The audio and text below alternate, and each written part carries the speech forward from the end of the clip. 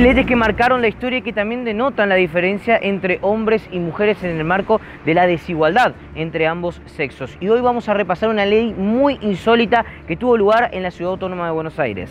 En la Ley Fundamental de la Ciudad Autónoma de Buenos Aires, capítulo 10.2, el cual habla de locales bailables, dice en una parte, en el punto G, que se permite la entrada del público femenino con la condición de que se cumplan en forma simultánea los siguientes recaudos. Y entre ellos, el punto más polémico es que se trate de mujeres acompañadas por personas del otro sexo.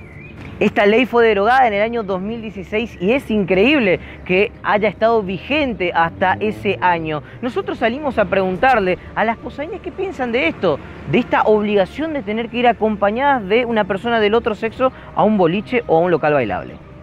No, eh, para mí salgo, sí, salir con, no hay problema, o sea, salgo con un chico no hay problema, pero también puedo salir sola.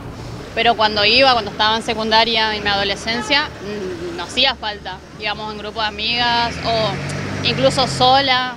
O por ahí a veces mis padres me iban a buscar, pero yo iba sola. Eh, por lo general salgo solo con chicas, pero en caso de ir a un lugar nuevo, sí tengo que salir con varones. Trato en lo posible de salir con un grupo de varones eh, toda mi vida estuve en grupo de varones justamente por cuestiones de seguridad, así que sí. Yo, yo al menos me sé defender sola, pero la vez que salgo salimos con grupo de amigas y por ahí hay primos, amigos, pero no es necesario, en, mi caso no es necesario salir acompañada de un, de un chico para poder salir al boliche. Bueno, al menos entre las chicas todas nos cuidamos y por suerte, gracias a Dios, hasta el día de hoy no nos pasó nada.